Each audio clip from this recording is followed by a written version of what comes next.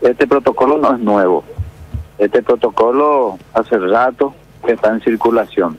Protocolo que a través de una resolución de la comandancia salió, en donde la Policía Nacional cuando va a hacer un control o cortes de ruta, tiene que haber como mínimo 10 hombres con dos patrulleras. Ese es el protocolo que siempre existió. De hecho, de que por el interior o puntualmente hablando acá por Encarnación, raras veces estamos haciendo controles de rutas, rutas principales. En este caso podríamos llamarlo a la ruta número 6 y ruta número 1. Lo que nosotros normalmente hacemos por Encarnación son los controles puntuales, en donde máximo están cuatro policías con uno o dos patrulleras. No, no es nada imposible solamente que va a demandar la cantidad de más efectivos, lo cual también va a tener un impacto a las comisarías, que sí o sí se le tiene que traer uno o dos hombres de cada comisaría para que podamos juntar la cantidad de, de personal establecido, ¿verdad? Pero tampoco, así como dije, tampoco es imposible.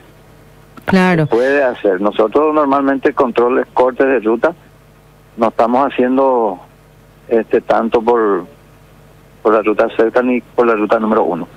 ¿Por, ¿por qué este protocolo, eh, comisario?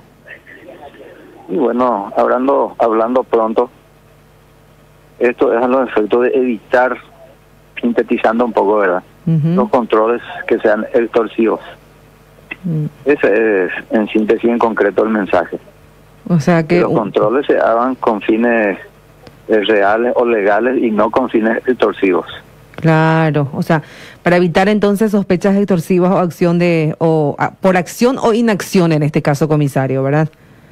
Totalmente, totalmente. Ese es el mensaje en cuanto a la a la disposición establecida de la comandancia de la Policía Nacional.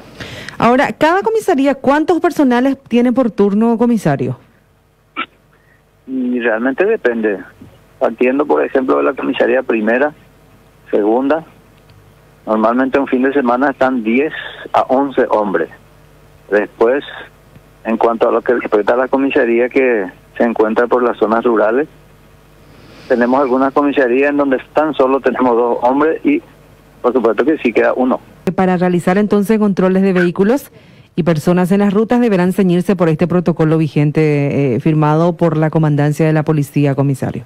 Por las rutas nacionales, la ruta a la que llamamos la más importante, como ser la nuestra, la número uno y la número seis, refiriéndonos a los controles puntuales dentro de la ciudad, no tenemos problemas.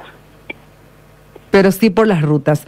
Comisario, para que una persona pueda reconocer un control oficial, entonces, eh, deberá fijarse en la cantidad de patrulleras que, que estabas mencionando, que serían de dos, y que deben ser mínimo eh, unos 10 o más personales en ruta. En caso de que solamente se visualice una patrullera y, obviamente menor cantidad, las personas, ¿qué, debes, ¿qué deben hacer al respecto, comisario?